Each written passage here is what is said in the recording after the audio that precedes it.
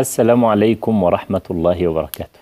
إلى كل الحائرين الذين يسألون ماذا نفعل لكي نتعامل مع أبنائنا وقد رأينا فيهم أحيانا سمات أو مواصفات تدفع إلى روح القيادة. ما المطلوب من الآباء والأمهات لكي ينموا معنى ومفهوم القيادة لدى الأبناء؟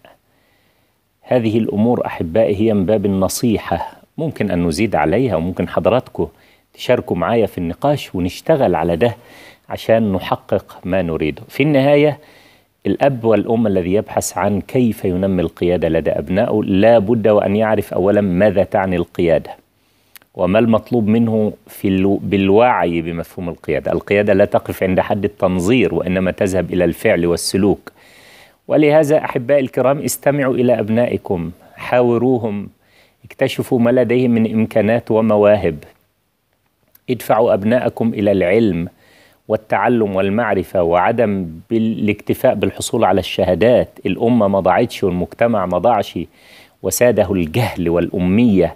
وساده غياب الوعي وعدم الحكم الحقيقي على الأمور في صورتها الحقيقية إلا نتيجة الفوضى التي تمارس في المدارس. نتيجة تغييب الذهنية وانتشار المذكرات والكتيبات والملخصات والدروس الخصوصية وفوضى الخطاب وغياب المدرسة عن أداء دورها. أيها الأحبة الكرام تستطيعوا أن تدفعوا أبنائكم إلى تلقي العلم بملكاته وهم داخل البيت وأن يستمتعوا بقراءة القصص وأن يستمتعوا بالرحلات الكشفية وأن يستمتعوا بالرحلات الميدانية. تستطيعوا أن تنتقلوا أبنائكم من الاجتهاد في الحصول على الدرجات الأكاديمية وهي أمر يعني طبيعي والإنجاز إلى أنه يبقى عنده طموح ولديه رغبة في أن يعيش حياة بجد. لديه فيها القدرة على أن يتخذ القرار. يبقى عنده القدرة أنه يبقى إنسان إيجابي. علموا أبنائكم أن التميز بالعلم وبالمعرفة وأن القيادة تحتاج إلى الممارسة. أحبائي الكرام في سمات القيادة أن القائد لديه ثقافة ومعلومات عامة. الأبناء الذين تسودهم يسودهم ثقافة الأسف الشديد ثقافة لا تنتمي للعلم ولا للمعرفة. ثقافة الأغاني وثقافة الفوضى السائدة في هذا المجتمع وغيره من المجتمعات للأسف الشديد أمر مش كويس. الآباء الذين يفتقدون إلى الخطاب العاطفي وإلى الذكاء الوجداني للأسف لن يصدروا أي مبدأ من مبادئ القيادة. تحدثنا في الذكاء التربية الوجدانية مدخلا لبناء الإرادة والوجدان. فاكرين اللي معايا شافوا هذا البرنامج؟ موجود في منصة رواق. موجود في قسم العلوم الاجتماعية في المواد المؤرشفة. ارجعوا ليه واسمعوا له. التربية الوجدانية مدخلا لبناء الإرادة والوجدان. ارجعوا اسمعوا الثقة بالنفس طريق التميز.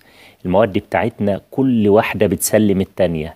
أنا لا أتحدث معكم هباء ولا جزافا ولا أختار قضاياي ومواضيعي أبدا والله ارتجالا وإنما بعضها يبني على بعضه البعض.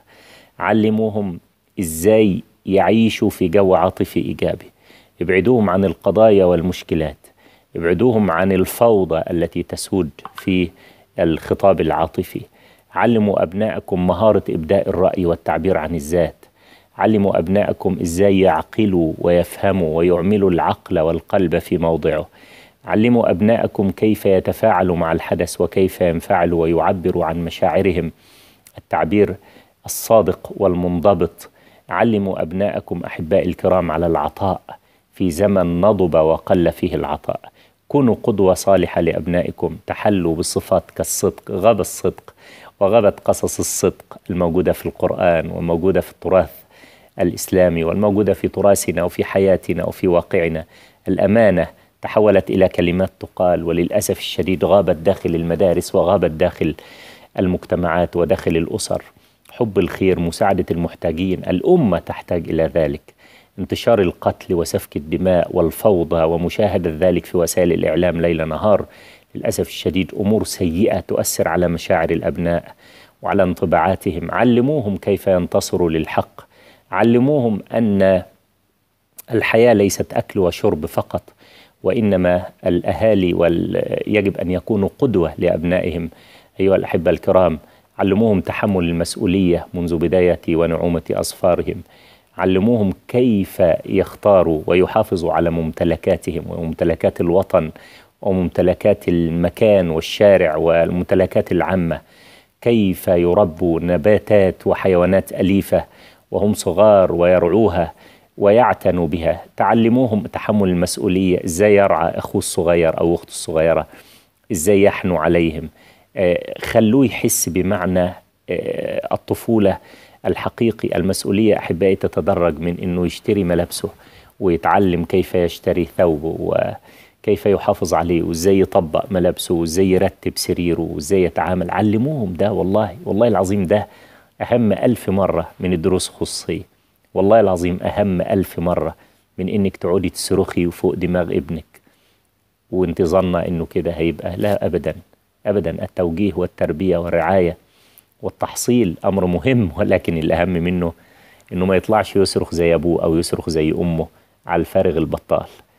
تعلموا وخلونا نعي ما المطلوب حتى يكون الجيل اللي خارج جيل منضبط واعي وعارف هو بيعمل إيه. علموهم الاستقلال.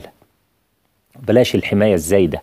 شوف نماذج في الغرب رائعة بعيدة عن الحماية الزائدة. تدفع إلى الثقة بالنفس. يا جماعة شوفوا اتعلموا من الغرب الخصال الإيجابية. نسينا حاجات كتيرة جدا في تراثنا. نسينا المنهج النبوي في التعليم. نسينا التراث الحقيقي. صفات مهمة قدرة على اتخاذ القرار. كلها أمور في غاية الأهمية. تعلم من هو صغير كيف يأخذ قرار. كما قلت الملابس الرحلة. قرارات بسيطة لن تؤثر على حياته ولن تؤثر على صفاته. آه، أيضا أحبائي الكرام من المهم جدا مراعاة عمر الأبناء وطريقة الخطاب الابن وهو صغير ابن ثلاث سنين ست سنوات عشر سنوات 12 سنة لاعبوهم سبع أدبوهم سبع صاحبوهم سبع ثم أطلقوا لهم الحبل على الغارب. شجعوهم على الانخراط في فعاليات ونشاطات اجتماعية أحبائي الكرام مهارات الإقناع واستقطاب الآخرين بالرغم من الاختلافات أمر مهم. الكشافة الرحلات النماذج القيادية بالحوار ما أعظم نماذج القرآن في القيادة. إن خير من استأجرت القوي الأمين فبما رحمة من الله لنت لهم ولو كنت فظا غليظ القلب لانفضوا من حولك فاعف عنهم واستغفر لهم وشاورهم في الأمر فإذا عزمت فتوكل على الله. علموهم قصص القرآن علموهم القصص في كل قصص النابهين على مستوى العالم. أحبائي الكرام تلك هي النبتة بين أيديكم. إذا أردت أن تثمر وإذا أردتم أن, أن, أن تكون نموذجا من العطاء والإثمار لابد وأن تجد الرعاية. وأنتم من يرعى وكلكم راع وكل راع مسؤول عن رعيته. نلتقي إن شاء الله في مداخلة أخرى قادمة على خير في أمان الله.